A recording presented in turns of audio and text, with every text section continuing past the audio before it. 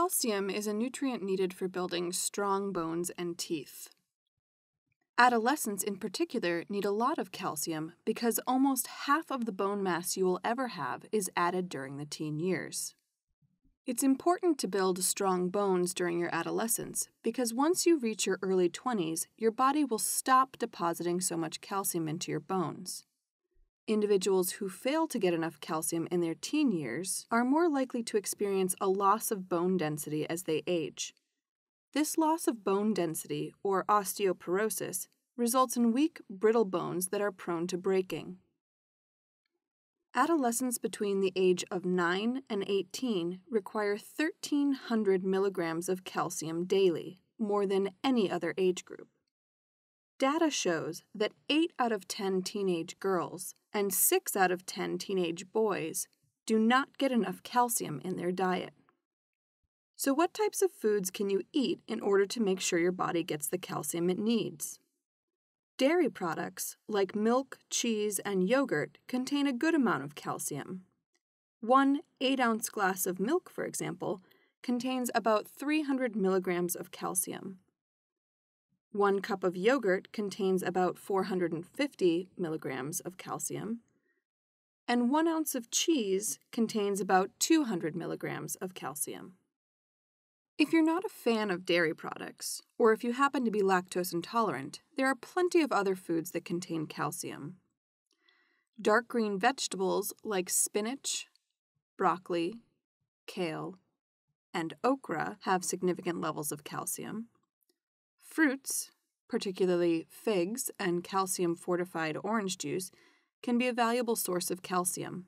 White beans, pinto beans, soybeans, and garbanzo beans all have significant levels of calcium, as do almonds and sesame seeds.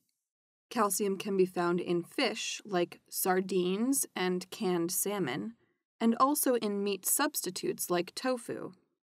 Grains can also provide calcium for your diet, corn tortillas and oatmeal contain a good amount of calcium, and many breads and cereals are fortified with calcium to supplement your intake.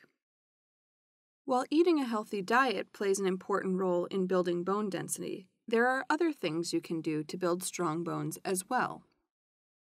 Bones get stronger and denser with the impact of weight and the pull of muscle during physical activity.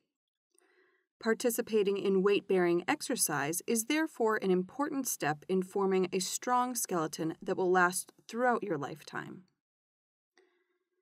In addition to actively building up your bones, you can also avoid behaviors that create risks for bone development. Avoid skipping meals.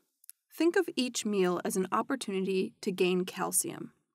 If you skip a meal, you lose out on the opportunity to increase your calcium intake. Eating disorders, among many other negative things, upset the balance of calcium and estrogen, which can hurt your bone density. If you suffer from an eating disorder, seek help from a trusted adult or medical professional.